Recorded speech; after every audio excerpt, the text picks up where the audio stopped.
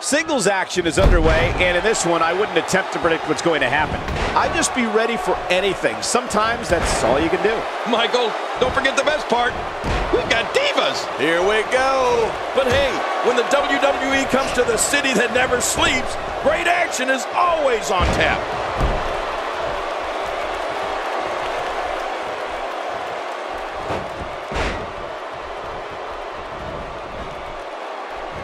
Wow, what unbelievable action.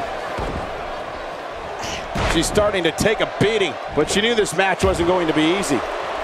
Keep in mind, though, neither one of these divas has shown signs of pulling away. What a close match. Well, I can't argue that point, John, and neither one of these women has really taken control of this match. Hoping to end it here. I hope so, too. And you can put this singles match in the books.